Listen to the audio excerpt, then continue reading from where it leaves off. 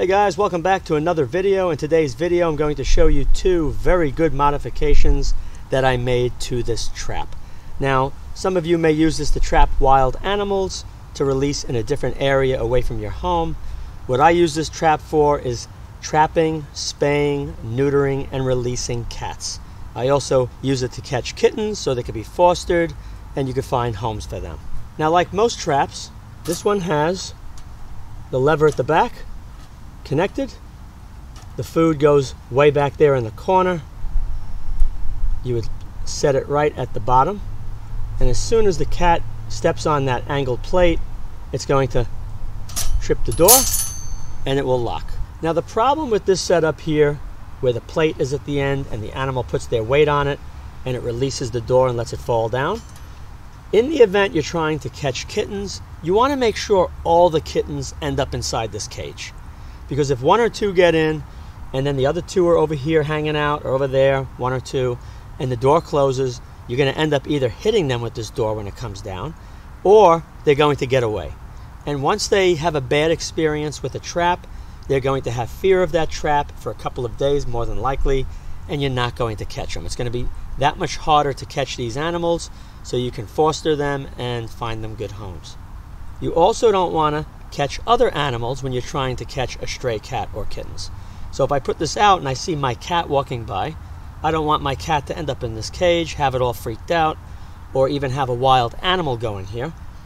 So there's something else that I added to this that makes it so much better than just having the plate that you see. Now before I show you that, I want to show you another problem I discovered with this type of a trap. When the door swings down, you have these steel rings. All right, they go all the way down. Now, normally, if you look right over here, these angled pieces I welded on. It's a 45 degree angle. It only sticks out about three quarters of an inch. This goes over it easily. But what I noticed, I caught a cat a couple of times without these pieces welded on. The cat freaked out, slammed on the door, and when it hit the door really fast, believe it or not, these rings popped all the way to the top and the door opened. So to eliminate the chance of this door opening, if an animal freaks out inside, you definitely want to add these little protrusions right here. When this drops down, it'll clear, and then when they hit the door, it's going to more than likely get hung up under this spot right here. If one doesn't get caught on that protrusion, you can bet that the other one will. So it's definitely going to keep the animal in the cage. Now what I wanted was a way to have this door trigger when I want it to trigger, not when the plate triggers. So if kittens happen to go in, I can watch from a distance, 100 feet away, 30, 35 meters, and just keep an eye to see when all the kittens enter. Or if I'm looking to catch a stray cat, to have it fixed and released back into the community, what I would do is just wait for the cat to go in make sure it's the cat that I want to catch. If it's a cat I don't want to catch, either I'll have the door go down before it goes in, or I'll just let it go in and eat and not have the door trigger. By not having the door trigger, the cat's happy, it walks out, and it doesn't freak out. So, how I did that, right over here, you can see up close, I added a solenoid right over here. I added a contact lever, which is steel and it's brazed onto the top of this cage. And I have this control box with a lithium polymer 12 volt battery for RC, along with a remote control triggering circuit. All I have to do, stay back at a distance, 100 feet, push the letter A when I want the door to close. Now if you take a look at the solenoid, you're going to see that there is a large O-ring going through the slit in that plunger. It goes around the solenoid that's just to keep it fully retracted into the coil when you're using the other method of triggering.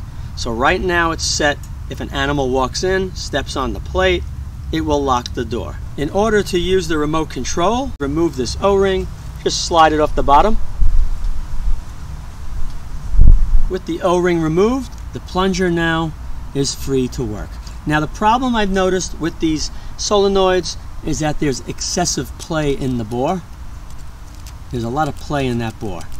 And what you want to do is when you put this rod in, which you're going to braze or weld onto the door, make sure the angle is correct, comes in sideways right here. It's going to make contact with the top, the very top edge of this plunger. So I'm going to spin it around this way. I like it that way.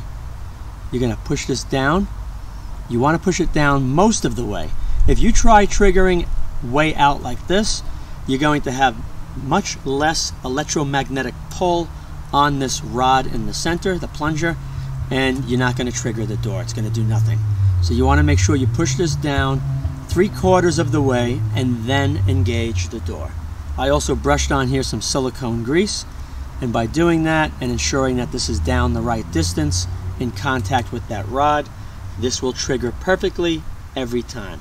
Now this solenoid, I'll put a link in the video description area. I believe it is a 35 Newton, I think a 30 or 35, 12 volt. So I think it has around six or seven pounds of pulling force. You want to make sure you use the same rating or even one that's slightly stronger. So instead of a 30, 35 Newton, you might want to go 40 to 50 range. Of course, it's going to draw more current. This one here is a 1.2 amp. If you're going to be using a 40 to 50 Newton, it's going to probably draw 2 to 2.5 amps. And it's really not a big deal for the battery that's used in this control box. You're also only going to be triggering momentarily. It's not a constant load on the battery. So you could charge this battery using an RC charger and this will last a very long time, even on standby while you're waiting to trigger. So I'm going to lift this up and you're going to see the other rod fell down. So now I have to engage this. Just push down with my finger like that. But before you do that, you want to turn this on first.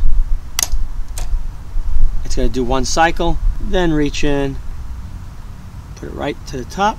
All I have to do now, push this button. And you can see there's a little delay.